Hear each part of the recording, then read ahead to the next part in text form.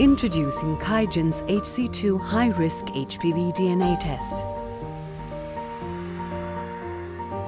Sample containing cervical cells is added to the reaction vessel.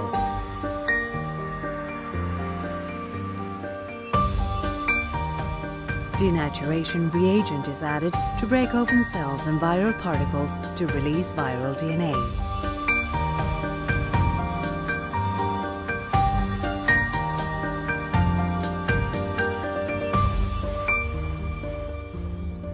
RNA probe is added to the reaction which is complementary to the full HPV genome and binds to the HPV DNA.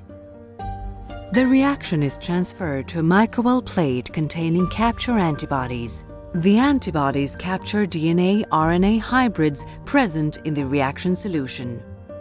Supernatant is removed and antibody enzyme conjugate is added which binds to the DNA RNA hybrids.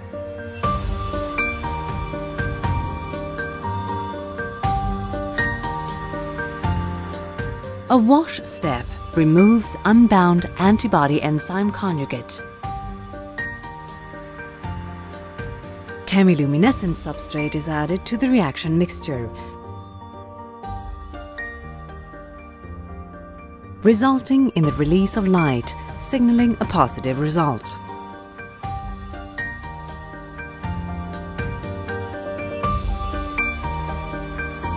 Simple sensitive, hybrid capture 2.